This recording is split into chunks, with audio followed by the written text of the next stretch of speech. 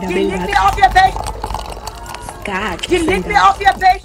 Hello loves and welcome back to my YouTube channel. I go by the name of Yolokazi Chagi, but you guys can most definitely call me Yolo. So before we even start with this video, I do want to apologize about my English and the terminology I will be using because I will try by all means to try and translate the traditional things into English. So my English on this video is not making sure to. Anyways, Gogo Skhotheni has been trending since episode 2 of season 1 of her reality TV show aired last night, you guys, where she basically shocked many viewers when she revealed that the ancestor that gave her the gift of Ubungoma which is Insizwa Yakadlamini, guys, and is currently living inside of her, requires her to be in a polygamous marriage. Bafowethu. Now, Gogos Skhotheni is already married to Umonde Shange, by the way, and they have two children together, one of which is still being baked in mommy's tummy, guys. So, what shocked many about this entire polygamous marriage is the fact that it's not the usual taboo that we are used to, you guys, whereby the man takes on a second wife.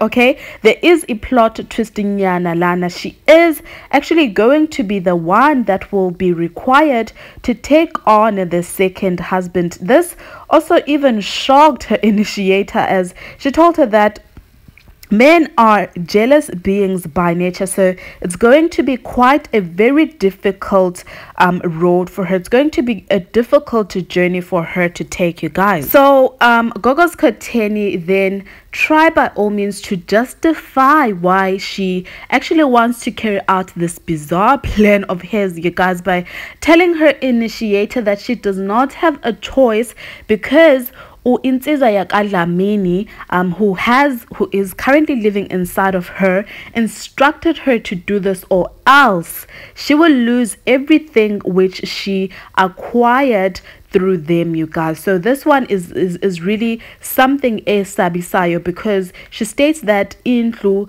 nazo zonke izinto neyimoto anazo she actually received through ama ancestors akhe. She further explains that insizwa yakadlamini which passed on this gift of ubungoma to yena was actually meant to take on a second wife while he was still alive you guys. So because inside yena uyindoda and outside physically she's a woman. Now this man living inside of her requires her to take a second husband. I hope I'm making sense, you guys. But unfortunately, Ugogo Skhotheni is a woman. Now she has to be carrying out um izinto ukuthi zenziwe insizwa. So that is what shocked many people, you guys. So there you have it with this update. What are your thoughts about this one? Honestly speaking, I really feel bad for Umonde because he seems like a very sweet guy, a very loving guy, you guys. I need to add that he seems to be a very loving guy. So therefore, I don't think he deserved to see his woman being loved by another man. So we will just have to wait and see as the show carries on, you guys. So please do share with me your thoughts down on the comment section like this video and also subscribe if you have not yet done so. And I will surely see you on my next upload. Bye.